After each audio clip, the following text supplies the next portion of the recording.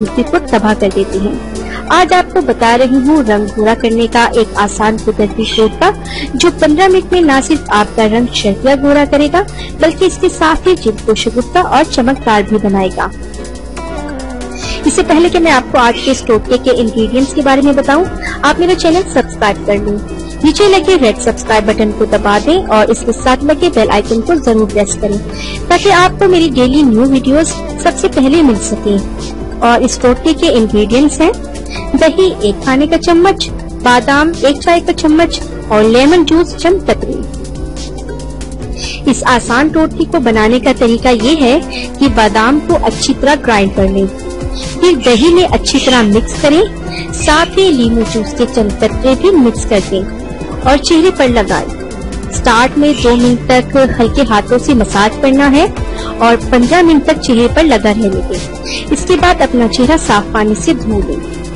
लीमू में citric acid और vitamin C काफ़ी ज़्यादा पाया जाता है। ये जिल्द को कुदरती तौर पे ब्लीच करके दाग धब्बों को दूर करता है। स्किन को एक्ने और पिंपल से भी बचाता है। बादाम एक खुश्क बीज वाला फल है। ये दिमाग और जिस्म को ताकत देता है, ये ज़बरदस्त किस्म का एंटीऑक्सीडेंट भी है।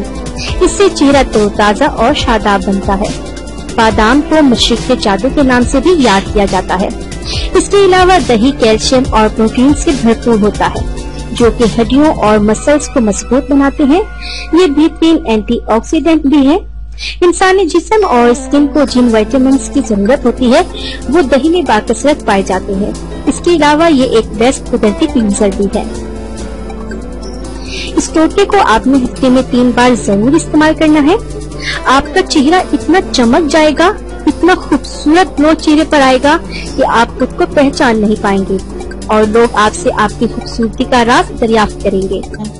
इतनी मेहनत से वीडियो बनाई है, एक लाइक तो बनता है ना। और दूसरा ये कि आप हमें इतनी बड़ी दुनिया में दोबारा कैसे ढूंढेंगे?